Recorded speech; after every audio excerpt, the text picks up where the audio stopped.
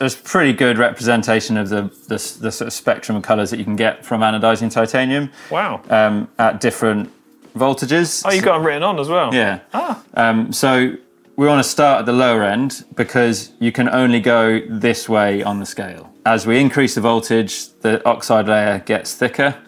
And then, so if you went, let's say, for that colour, you can't then turn the voltage down and reverse it back to that colour. You got to strip it all back off again. So start to get towards the gold. Oh wow.